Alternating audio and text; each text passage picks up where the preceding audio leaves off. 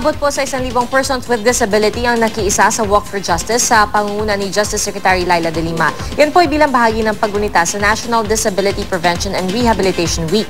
May ulat on the spot si Mark Salazar. Mark? APIA kasi yung ah, Department of Justice ano, yung ah, lead agency sa pagdiriwang ng isang linggo ng National Disability Prevention and Rehabilitation Week ano at ah, mahigit isang libo nga ng ating mga kababayan na persons with disability ang ah, naglakad sa paligid ng ah, Quezon Memorial Circle.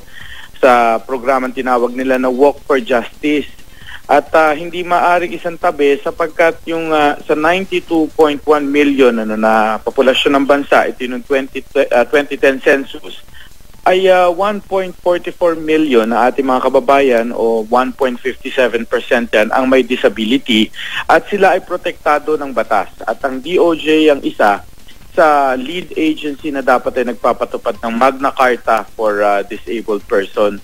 Kaya naman kanina sinabi ni ah, Secretary Laila De Lima ng ah, DOJ na sisimulan nila, sisimulan nila yung paglalagay ng mga interpreter na kagaya ng nakikita niyo sa video sa lahat ng mga attached agencies ng ah, DOJ kagaya ng Fiscal's Office o ng PAW para yung mga kababayan nating may disability ay hindi naman na-discourage na magpunta sa kanilang mga ahensya kung wala namang makakausap o interpreter na magpapaliwanag sa kanila ng ah, proseso at ang DOJ din ang ah, magbabantay ng husto kung naipapatupad yung Magna Carta for Disabled ah, Persons kagaya ng diskriminasyon. Halimbawa sa trabaho yung mga ganyang kaso na inireklamo ng mga persons with disability.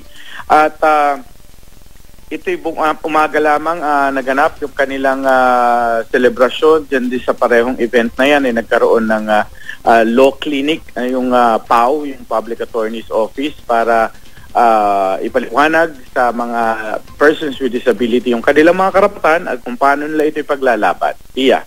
Maraming salamat, Mark Salazar.